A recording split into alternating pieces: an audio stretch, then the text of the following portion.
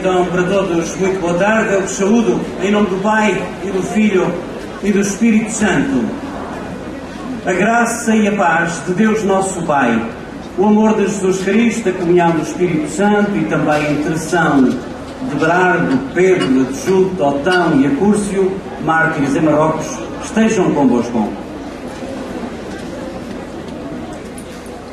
Deixai antes de mais nada que vos dê uma saudação, não só àqueles que todos os anos aqui se encontram conosco para celebrar a mesma fé em Jesus Cristo, também para aqueles que estão aqui pela primeira vez, seja por causa da devoção aos Santos Mártires, seja por causa da devoção também a Santa Clara, sejam todos bem-vindos.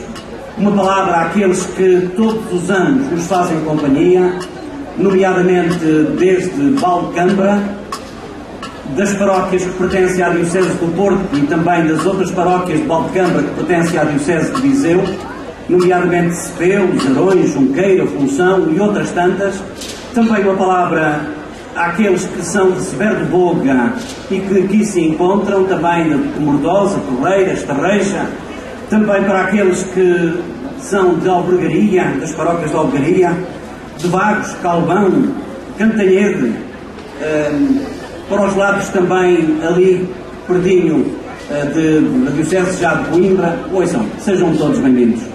Gostava também, se não se importam, uma vez que estamos a transmitir em direto, tal como já o fizemos em relação à procissão, estamos a transmitir em direto através do Facebook, através da internet, esta nossa celebração, também para todos aqueles que estão na nossa companhia, que nos estão neste momento a ver aqui em Portugal ou no estrangeiro, ou que eventualmente nos possam rever mais tarde, sejam todos bem-vindos também a esta festa dos Santos Mártires.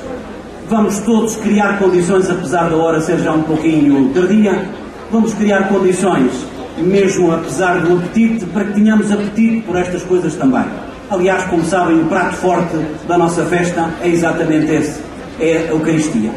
E por isso, e porque sabemos que nem sempre atuamos da melhor maneira, porque nem sempre fazemos as coisas bem feitas, porque há muita coisa bem feita que deixamos de fazer. Pensemos nos nossos pecados.